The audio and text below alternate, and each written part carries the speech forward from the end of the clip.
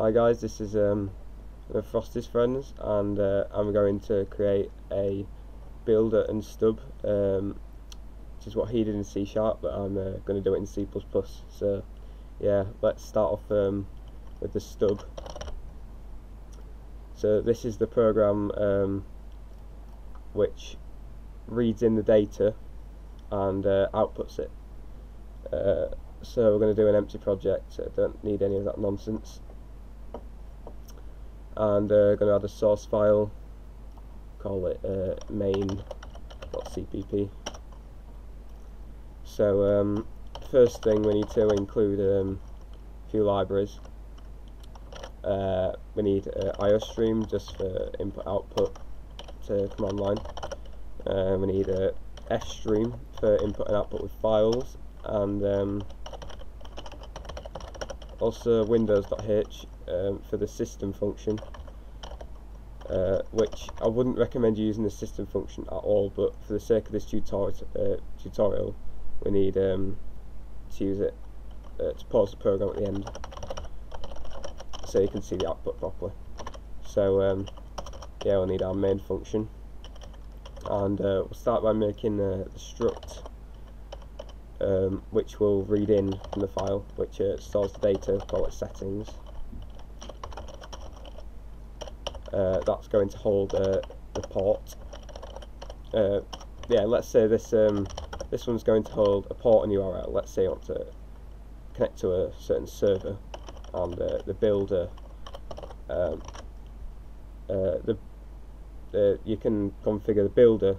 So um, you put in your port and URL, and it builds it, puts it into the stub, and the stub reads that in and connect to the correct server. So uh, we're going to set to 256 um, so it just needs to be long enough to hold uh, the URL that you want really but you can set it to whatever you like. Um,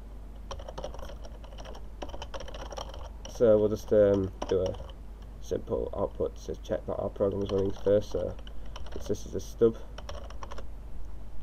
Uh, oh yeah um, let's do using namespace std to save a bit of time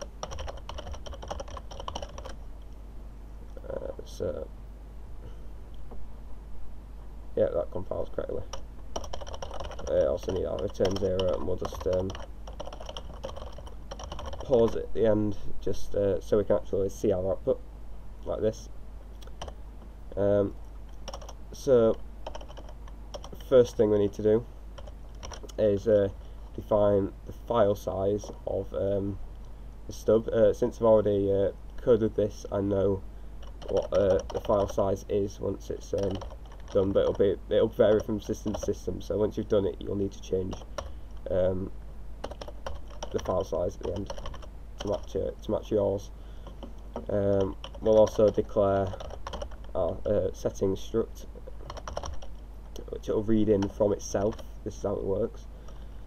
Um, so the first thing we need to do is uh, actually get the file name of the current file since we're going to have to read from its own file, if you know what I mean. So, uh, over, um, the size variable is um, there's parameters of uh, get module file name. Uh, I'll do that now actually, so you can see what it takes in as a parameter. Uh, module file name, and I'm going to use a version, so it uh, simplifies things. It doesn't use um, it uses a different type of string. Uh, don't need that parameter. Um, so what it's going to uh, do this function is um, copy the file name of the current file to a, a variable so I'll call file name and um, it uh, reads it in with the size that you've defined uh, here.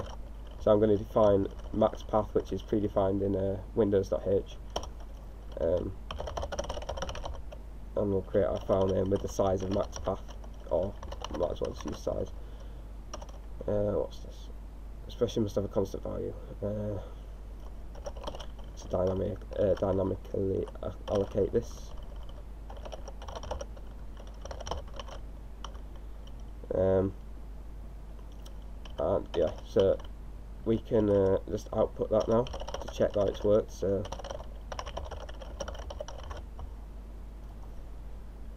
it'll come up with uh, the full path to um, our stub.exe file.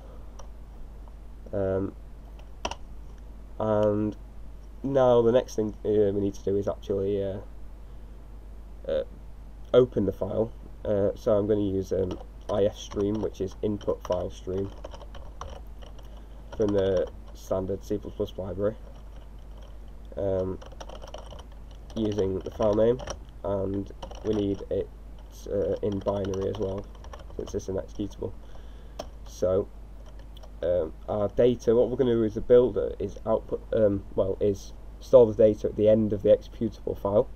So what we need to do is uh, change our file pointer to the end of the file. Um, so this is where our this is why we need our file size. Um, so what you need to do to get the file size is uh, once you've compiled the program uh, you'll get a stub.exe and you'll read you'll put that file size into it not uh, not the one when once you've built it because then it'll be slightly longer with the data at the end. Um, so now we actually need to read the end of uh, from the end of the file into um, the very end of the file well if you know what I mean the end of the stub file size until the very end of the stub where it has the data in it. Um, so um, we'll read it into um, the data struct and we have to cast it to a uh, character uh, string because that's what it uh, reads it into. Um, you can actually read directly into struct that's what we're doing. Um, and size of the settings struct. Um, why is this not working? Uh, Oh yeah, yeah. Um, we need to return a pointer to that, so we'll put the and in front of it. Um, and we'll close the file. Don't need it opened anymore. Um, so that's pretty much the end of the stub. Um, we'll just output the settings. Uh,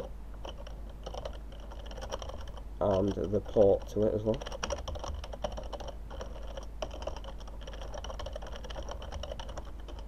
So at the moment we'll just get a load of random gibberish because uh, there's no data at the end of it, this is just a stub, so, well, yeah, it doesn't display anything. Uh, so yeah, that's the stub. Um, that's been the first part, and uh, in the second part I'll uh, show you how to use the builder. So thanks for watching.